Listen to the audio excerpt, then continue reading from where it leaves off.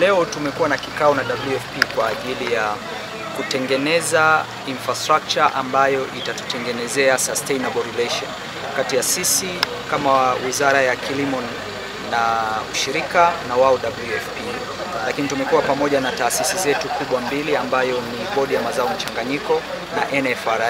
Kwa hiyo tumekubaliana kuna mambo ambayo yanahusiana na swala la masoko ili Tanzania iweze kuuza moja kwa moja katika nchi kama za South Sudan na maeneo mengine, lakini vile vile kwa ajili ya kujenga capacity kwa taasisi zetu za NFRA na CPB, lakini msimu ujao kwenye maeneo ambayo yana yana potential kubwa nje hasa kama sorghum lakini vile vile mahindi na, na mazao mengine ya wakulima. Kwa hiyo tunachoamua sasa hivi uhusiano uh, na WFP ni kwa ajili ya kujadili kesho, kwa sababu tunaenda kwenye msimu wa kilimo. Kwa hiyo lazima tuwe tumeshaanza anza kuandaa masoko ya uhakika kwa wakulima wetu uh, watakaovuna mwakani.